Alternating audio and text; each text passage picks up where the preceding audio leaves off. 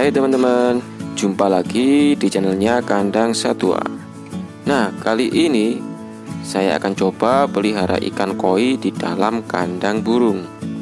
Kira-kira bisa nggak ya? Nah, seperti biasa, sebelum kalian lihat videonya Jangan lupa ya, like dan subscribe channelnya Kandang Satwa Teman-teman, Tadi saya baru saja beli ikan koi di pasar ikan. Saya coba empat ekor dulu. Nanti akan saya lepas di kolam ikan yang berada di dalam kandang burung markit Australia.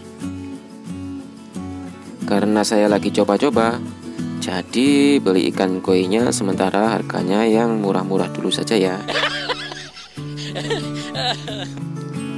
Nah, ini dia teman-teman ikan koi termurah di dunia. Tadi saya belinya 4 ekor. Yang kecil-kecil ini tadi dikasih sama penjualnya. Aku nggak tahu sih itu jenis ikan apa. Lumayan lah, gratis gitu loh.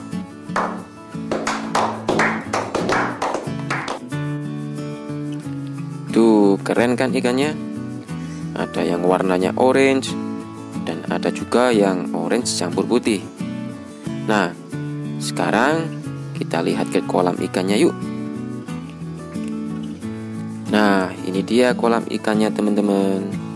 Tapi ada isinya ikan nila merah nih. Jadi harus dipindah dulu ikan nilanya biar nanti si koinnya nggak berantem sama ikan nilanya. Oke kalau gitu kita pindahin dulu ya. Nah, udah pindah nih ikan nilanya. Sekalian kolamnya dibersihkan dulu teman-teman. Biar ikan koinya nanti sehat dan gak gampang sakit. Dan semoga gak mati ya. Tuh, udah bersih kolam ikannya. Dan airnya juga sudah penuh teman-teman. Sekarang kita masukkan ikan koinya.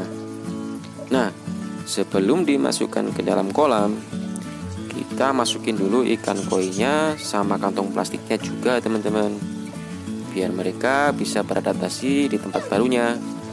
Kira-kira 15 menit lah. Nah, setelah 15 menit, sekarang kita buka ya. Setelah dibuka, Masukin sedikit demi sedikit air yang ada di dalam kolam ke kantong plastik ikan koi. Biar mereka bisa beradaptasi dengan air yang ada di sini. Jadi gitu teman-teman. Ditunggu 10 menit ya.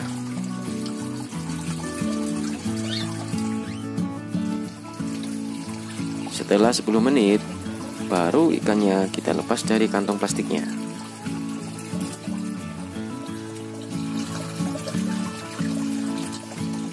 Nah, sekarang si ikan koi sudah mulai keluar semua. Terus ikannya akan beradaptasi dulu di tempat barunya.